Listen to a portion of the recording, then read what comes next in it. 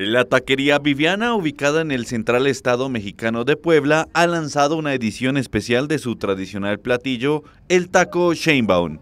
Este taco rinde homenaje a la lucha de las mujeres y celebra la histórica llegada de Claudia Sheinbaum como la primera presidenta de México elegida por voto popular.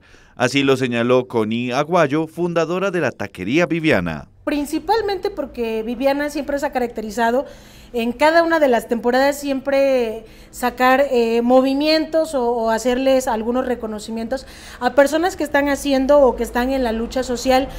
En esta ocasión lo hacemos por el reconocimiento a las mujeres este singular taco está elaborado con carne de cerdo preparada con especias y cebolla, conocida como carne árabe, y su presentación es única sobre tortillas de harina. Se pinta una imagen de Sheinbaum en colores rojo y verde, respetando los tonos de la bandera mexicana. La pintura es vegetal comestible. Esta pintura es la que ocupan para los cupcakes, para los pasteles, para los, todo lo que es repostería. Es una pintura que no tiene sabor, pero sí tiene color. El tiempo es dependiendo cada, cada diseño. Hay diseños en los cuales nos tardamos muchísimo. La preparación de estos tacos es un esfuerzo colectivo donde la hermana de Connie es la encargada de pintar las tortillas con moldes hechos a mano, asegurando que la materia prima no se dañe.